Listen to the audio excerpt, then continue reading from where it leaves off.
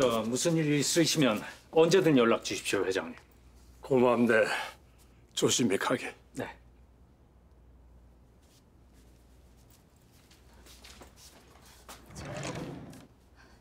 죄송합니다. 내가 그만큼 당부를 하지 않았나? 한시라도 눈을 떼면 안 된다고! 죄송합니다. 아닙니다. 제 잘못입니다.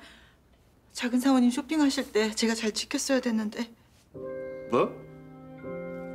시- 쇼핑? 아니 그럼 너 쇼핑하느라고 이사 다니는 거야? 너 제정신이야?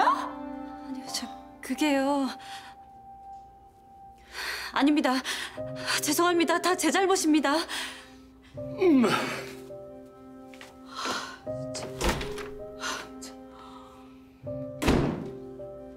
피곤할 텐데 올라가 쉬어라. 그리고 조 시장도 그만 들어가 봐요.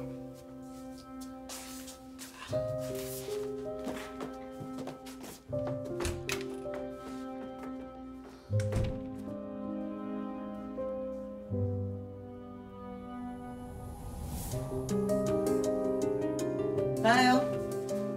입금했으니까 확인해봐요. 그리고 남만중 회장이 당신 어떻게든 찾으려고 할 테니까 당분간 숨어 있어요.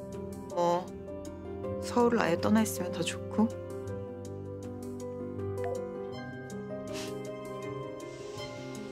음, 이제 시작이야. 정겨울에 대한 남 회장의 마음 서서히 깨놓겠어.